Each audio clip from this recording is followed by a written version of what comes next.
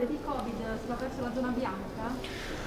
Sì, anche se penso che presto si toglieranno i colori e credo anche che comunque non ci siano delle grandi differenze fra la zona bianca e la zona gialla. Io penso che presto ci saranno dei provvedimenti che rimposteranno completamente il, il discorso e che valuteranno il fatto che sta cambiando in modo sostanziale il virus e che quindi sta cambiando l'approccio che dobbiamo avere nei confronti dello stesso.